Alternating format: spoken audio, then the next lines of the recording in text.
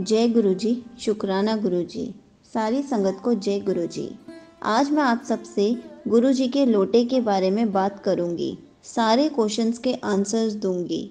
बहुत ही अच्छी इन्फॉर्मेशन दूँगी इस वीडियो में। इसलिए वीडियो को लाइक करके चैनल को सब्सक्राइब कर देना और कमेंट्स में जय गुरु जी लिखना मत भूलना। पहला क्वेश्चन गुरु जी का लोटा कैसे ब्लेस कराना है? संगत जी, गुरु जी का लोटा बड़े मंदिर से ब्लेस कराना है। हमारी फ़र्स्ट प्रेफरेंस बड़े मंदिर से ब्लेस कराना ही होनी चाहिए। दूसरा क्वेश्चन गुरु जी का लोटा कौन से धातु का होना चाहिए? संगत जी, गुरु जी का लोटा तांबे का मीन्स कॉपर का ही होना चाहिए। तीसरा क्वेश्चन लोटे का साइज़ क्या होना चाहिए? संगत जी, गुरु जी के लोटे का साइज़ आपके ऊपर डिपेंड करता है। जो आप आसानी से परचेज कर सको। चौथा क्वेश्चन अगर हम बड़े मंदिर से बहुत दूर हैं तो हम लोटा कैसे ब्लेस कराएँ? संगत जी, अगर आप बड़े मंदिर से बहुत दूर हैं तो आप लोटे को आपके पास जो गुरु जी का स्वरूप है, वहाँ से खुद ब्लेस कीजिए। लेकिन फ़र्स्ट प्रेफरेंस बड़े मंदिर जाकर ब्लेस करा के आए, वही रखें। ऐसा कभी ना सोचें कि खुद भी कर सकते हैं तो ऐसा ही कर लेते हैं। कोशिश कीजिए, बड़े मंदिर से ही ब्लेस किया जाए। पांचवा क्वेश्चन, जिसके लिए लोटा ब्लेस करा रहे हैं, उनका जाना ज़रूरी है। संगत जी, अगर वो खुद जा सकते हैं लोटा ब्लेस कराने तो बहुत अच्छी बात है, क्योंकि उनके जाने से तीन काम हो जाएँगे। उनके लिए लोटा ब्लेस हो जाएगा, वो वहीं पर लंगर प्रसाद भी खाकर आ पाएँगे और गुरुजी उन्हें खूब सारी ब्लेसिंग्स भी देंगे। अगर ज़्यादा सीरियस हैं या नहीं जा सकते तो कोई भी क्लोज़ फ्रेंड या फैमिली मेंबर ब्लेस करा के आ सकते हैं। छठा क्वेश्चन क्या गुरु जी का लोटा पूरी फैमिली यूज़ कर सकती है? नहीं संगत जी, जिसके लिए लोटा ब्लेस कराया है, वही यूज़ कर सकते हैं। अगर घर में तीन लोगों के लिए लोटा चाहिए तो तीन लोटे ब्लेस कराने ही पड़ेंगे। सातवां क्वेश्चन क्या लोटा रोज़ यूज़ करना है? नहीं संगत जी, जितने दिन आपने डिसाइड किया है, उतने दिन ही यूज़ करना है। Like eleven days twenty one days thirty one days fifty one days आठवां क्वेश्चन गुरु जी का लोटा कैसे क्लीन करें? संगत जी गुरु जी के लोटे को आपने साबुन से वॉश नहीं करना है। आपने उसको नींबू से या कोयले की राख से क्लीन करना है।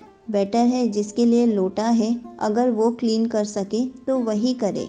अगर नहीं कर सकते तो घर का कोई भी मेंबर क्लीन कर सकता है। नौवा क्वेश्चन। बड़े मंदिर में गुरु जी का लोटा कैसे ब्लेस कराते हैं? संगत जी, बड़े मंदिर में मेन हॉल में जाकर वहाँ सेवादार को बोल दीजिए कि हमें लोटा ब्लेस कराना है। तब सेवादार गुरु जी की गद्दी के पास आपका लोटा रख कर ब्लेस करके आपको दे देंगे। और आपको वहीं साइड में खड़े होकर गुरु जी से प्रे करनी है। मैं जिनके लिए भी ये लोटा लेकर आई हूँ, उनका नाम लेना है और कहना है कि आप उनके लिए ये लोटा ब्लेस कर दीजिए और उनके कष्ट, उनकी बीमारियों को ठीक कर दीजिए। फिर आप लोटे को घर ले आइए। दसवां क्वेश्चन। गुरु जी का लोटा खुद ब्लेस कैसे करें?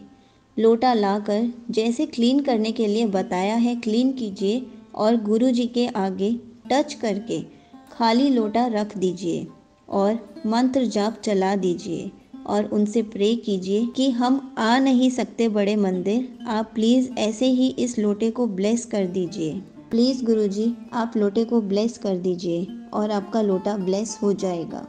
ग्यारहवा क्वेश्चन गुरु जी के लोटे को ब्लेस करके कैसे यूज़ करें? संगत जी, कोशिश कीजिए कि क्लीन वाटर लोटे में डालिए। जमा किया हुआ पानी ना डालें और जल से भरा हुआ लोटा गुरु जी के स्वरूप से टच करके रख दीजिए और फिर गुरु जी से प्रे कीजिए कि गुरु जी आप ये जल प्रसाद को ब्लेस कर दीजिए और पूरी रात वो लोटा गुरु जी के पास टच करके रख दीजिए। हो सके तो थोड़ी देर के लिए मंत्र जाप भी चला दीजिए। और सुबह उठकर 50 परसेंट आपने जल प्रसाद पीना है और 50 परसेंट जल प्रसाद से आपने नहाना है। बारवा क्वेश्चन, लोटे से जल प्रसाद कैसे पीना है? संगत जी, आप ग्लास में डालकर भी पी सकते हैं, या आप डायरेक्ट लोटे से भी पी सकते हैं, पर कोशिश कीजिए कि लोटे को मुँह ना लगाकर पिए। तेरवा क्वेश्चन फिफ्टी परसेंट पानी नहाने के लिए कैसे डालें? संगत जी, पहले बाल्टी में लोटे का जल प्रसाद डालिए और फिर बाल्टी में पानी भरें, ताकि वो ब्लेस्ड प्रसाद बन सके और आप उससे ही नहाएँ।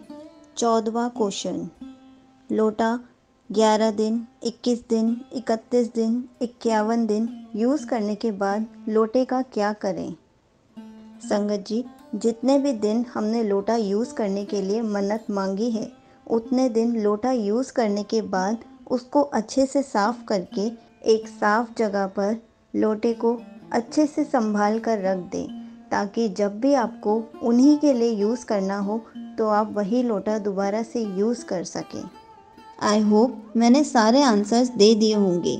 अगर तब भी कोई क्वेश्चन रह गया है तो आप मुझसे कमेंट्स में पूछ सकते हैं। मैं उसका आंसर कमेंट में रिप्लाई करके या फिर वीडियो बनाकर ज़रूर दूँगी। जय गुरु जी शुक्राना गुरु जी